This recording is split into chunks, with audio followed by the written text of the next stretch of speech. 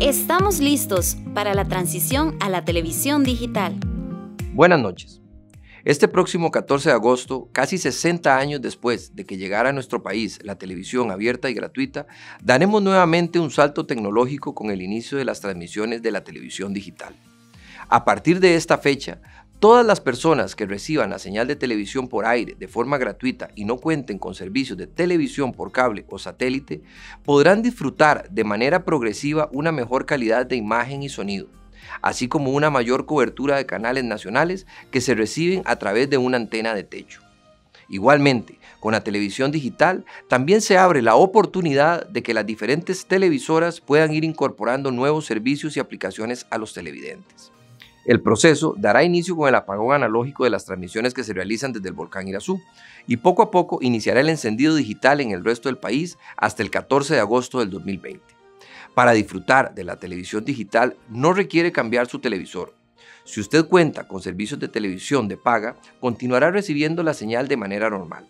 Si no es su caso y usted recibe la señal por medio de una antena de techo, debe confirmar que su televisor cuenta con el estándar japonés brasileño.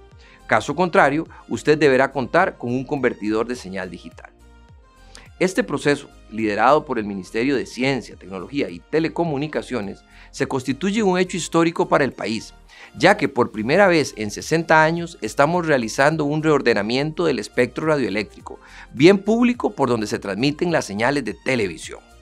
A la fecha, hemos logrado recuperar 48 MHz de espectro, de los cuales 24 nos permitirán cumplir con el compromiso definido en el Plan Nacional de Desarrollo de Telecomunicaciones para la atención de necesidades locales y nacionales. En otras palabras, esto significará más voces, más pluralismo y más puntos de vista en la televisión nacional.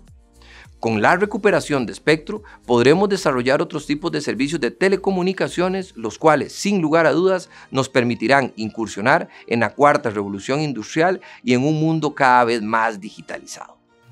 Todo esto ha sido posible gracias al trabajo, compromiso y articulación de múltiples actores, entre los que se encuentran los concesionarios quienes han invertido recursos humanos, técnicos y económicos. Además, la SUTEL, el IMAS y SINART quienes han apoyado el proceso desde sus ámbitos de competencia. La transformación digital a la que aspiramos implica asumir una serie de retos y desafíos Estamos seguros que Costa Rica es capaz de cumplirlos y de apostar por la tecnología desde una visión solidaria y visionaria.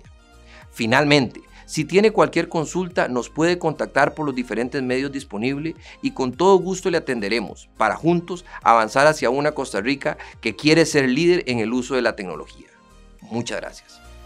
Para consultas, escríbanos al correo electrónico consultastvdigital.telecom.go.cr o llámenos al número de teléfono 800, ahora TVD 800 2467 2883.